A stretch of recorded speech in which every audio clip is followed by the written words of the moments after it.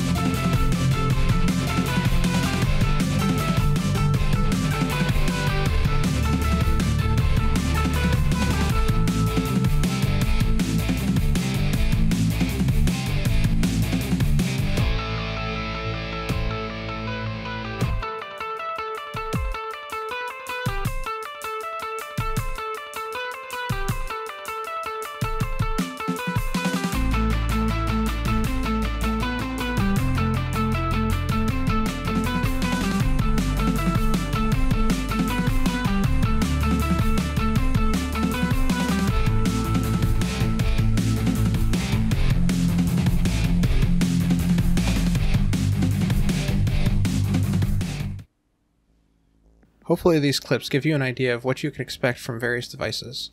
Getting the recordings for this video has provided me with some good information which I'll outline here for you. First off, all of the solutions provide a decent enough experience where I'd be comfortable playing on any of them if I didn't have any of the others. When you're sitting on the couch actually playing the game, the visual quality difference isn't as noticeable, and if you don't actually sit down and compare them side by side like I did, you won't know what you're missing, so it'll be fine.